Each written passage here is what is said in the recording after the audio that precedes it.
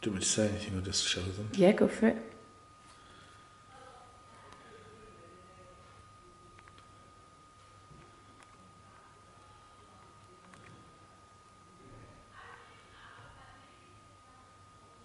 Worlds for tipping. Our world is Antarctica at the top. Mm-hmm. Marbles are for losing. There's. Do you prefer this world? Pretty fancy, isn't it? Or this one? Multiple worlds. Worlds of tipping and marbles are for losing. And Wales,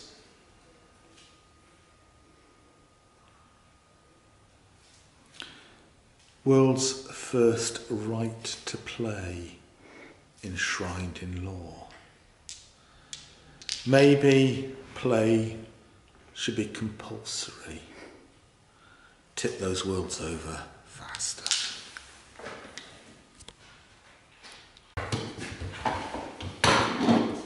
Okay, perfect. Okay, so these against each other. Yeah. Yeah. And that in the middle.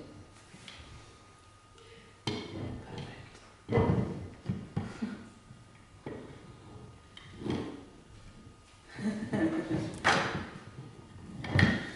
I said the world's first right to play.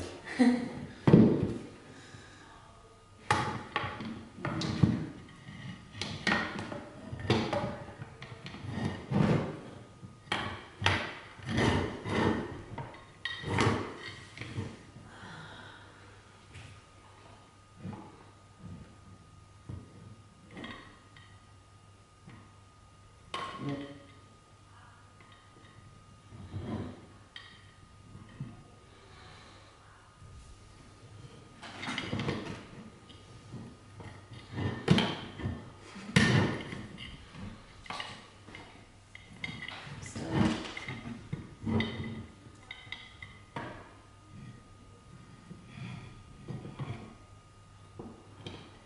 Could it be?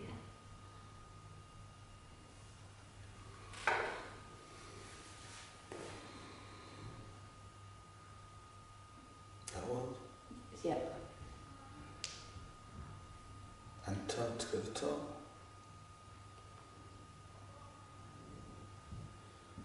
Wait for the crash.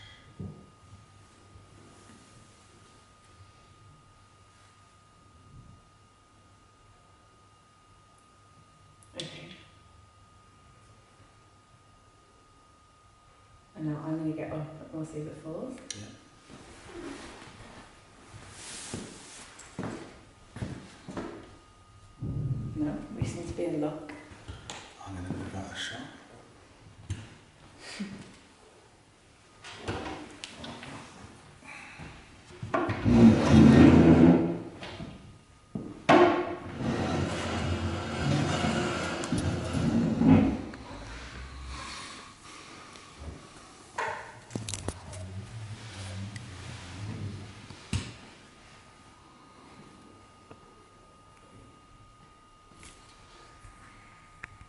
the and there's the Kintsugi running through it.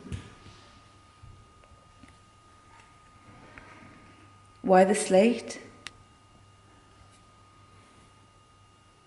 Um, first bit, just because it's Wales, and childhood and right to play. Those are roofing slates,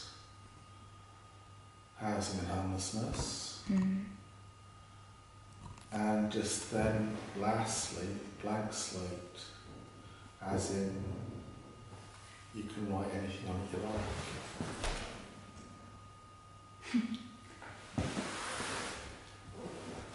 Where's the walking stick from? some crap catalogue Probably some exploited workers somewhere. Uh, I, I don't know. It was. It would have been some like disabled uh, website of age. So it is an actual walking age. There'll be some books down the catalogue somewhere, Mm. and you get the really crappy ones, the really cheap ones that fold. That's not quite as cheap, but it's pretty cheap. And you can't see the handle, but you did say earlier, you know, the handle is quite crippling and it's not very comfortable. I can't use it, but it was, it was cheap, so I could afford it for art purposes. And well, it's pretty, isn't it? It's got fruit on. Mm. And Lindsay, you'll have to join the conversation her speak. or laugh. You're part of it. The walking stick reminds me of you talking about the. Was it the Henry Moore spoon? William Morris Will it- spoon. That's it. Oh yeah. That Lindsay was present at in the in the patch of woodland outside Leeds Slung Low, literally just over a year ago. It was last May, May 2021. Mm. common era when well it was a different thing but okay so Marty who we talked about last time who lives about lived about 200 yards from where we're filming and wrote a play in Corona called Nays about this amazing little old lady who blows up the system Mm. so we took the system to this patch of woodland and blew it up. And everything else went. Lindsay, what did you nominate? What, what did you blow up? I wrote um, a picture of a uterus with an IUD coil and it had a Hello Kitty branding on it. A Hello Kitty coil. Yeah. What? They were trying, I can't remember where it was now, but they were trying to market the coil to young women What? by like all this Hello Kitty branding and pink shit. I mean, I'm really, really obviously into this, and also obviously completely repulsed at the same time. Yeah. Shit. So I I just guess had that's like, why you know. Well, I I guess just made that's why you a put it up. of that and those things and I blew that up. Yeah, we good choice. blew up high heels on behalf of the most revolting pair I could find. It was cheap. Mm. That's on behalf of Selma and a whole bunch of other stuff went. Uh, DWP brown envelopes. Yeah. Daily Mail, it resisted a bit. It went DSM, that's a Diagnostic and Statistic Manual of Psychiatry, blew three of those up. Cool. So on the wall behind us over there, not in shot, is Ade Edmondson, who danced Swan Lake, and he was asked who had hit in the face of the frying pan. He said Maggie twice just to make sure. We blew up DSM three times to make really sure. yeah. And we also took uh, a William Morris patterned spoon rest Mm-hmm. because I thought that's the ultimate system. Yeah. There's a whole performance around it because came out of one section in, into Holmes Hostel and discovered that in our absence artists had designed spoon rests. Yeah. lump of plastic you rest your spoon on. And I just thought this is kind of the perfect image for everything. I bet psychiatry and Tony Blair collect spoon rests. yeah. So we tried to blow up a spoon rest, an art, an art spoon rest.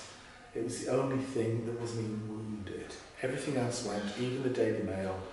So, you know, once the world that you're looking at right now on the top of the walking stick, you know, everything on it has died out, there'll be a of artist designed spoon rests left and nothing else makes perfect non-sense. Yeah. It's pretty boring. Pretty dystopic, isn't it? Fucking hell. What would you blow up? If I said the system, top of your head, what's the thing that represents the system? It doesn't matter, just the system to you. That thing, that symbol, I'd like that gone. Probably got something to do with like the suburbs. Um, that kind of like Anna Dean feeling of just like a Sunday night in the suburbs. Sunday nights in the suburbs, go. Yeah, gone.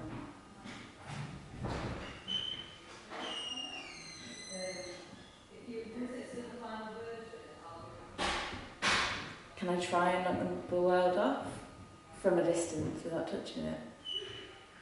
I don't know, can you? I'd like to try. And going for your, your curling skills with the broom over there, so you're going to sort of broom the floor in your area. Are you going to stomp? Are you dancing? I don't want to stomp, but I feel like it's a little stomp?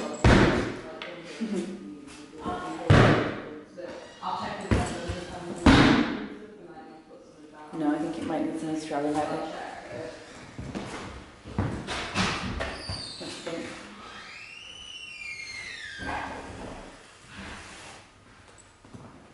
Is there anything we can try? You've got markers. Um,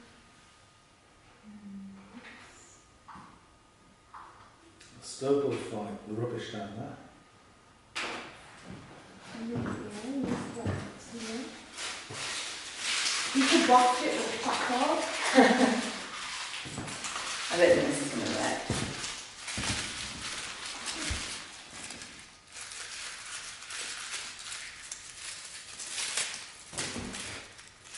You can see how bad my aim is as well. Yep.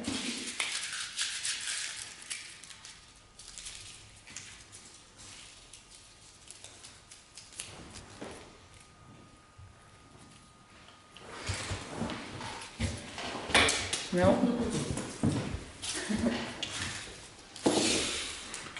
Do you want to throw some snowballs, assistants? Um, How about this?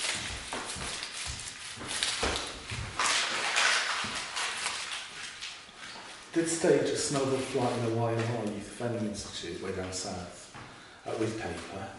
Screws versus education versus the learners, they can use the word learners then.